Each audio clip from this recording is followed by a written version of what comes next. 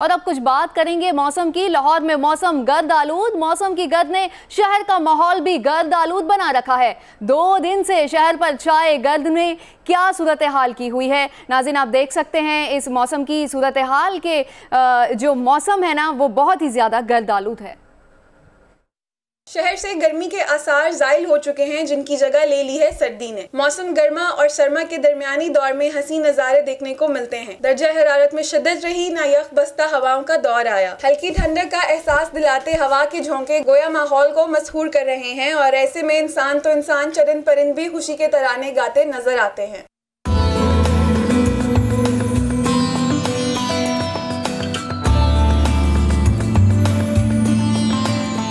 सर्दियाँ तो हमेशा लुत्फानंदोज करती हैं इंसान को और ये तो वैसे ही आ, बड़ी इंपॉर्टेंस का हामिल होता है। लोग बड़ी शिद्दत से इंतज़ार करते हैं सर्दियों का। इस मुल्क में दस महीने गर्मी रहती है दो महीने ज़रा अच्छे हैं।